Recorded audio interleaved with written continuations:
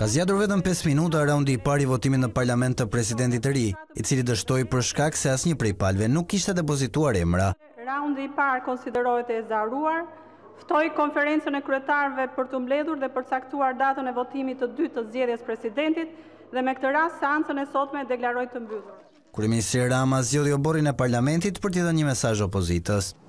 Ne jemi të gatshëm që të flasim me çdo palë, pjesë që do të donte të fliste me ne.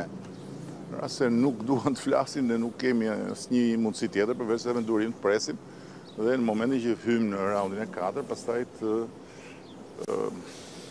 përdorim mandatin që na jep Kushtetuta për të zgjedhur presidentin apo presidenten e Republikës.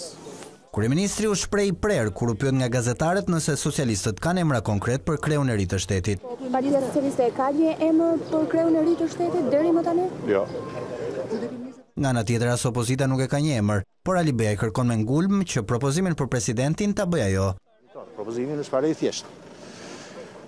Propozim sipas të cilit të zgjidhet në tre raundet e para, ku do duhen jo më pak se 84 vota, ku propozimi të jetë i joni, për gjithë arsyet që kemi thënë, për të qenë një proces jo farsë, një proces që nuk i hedh hi syve shqiptarëve.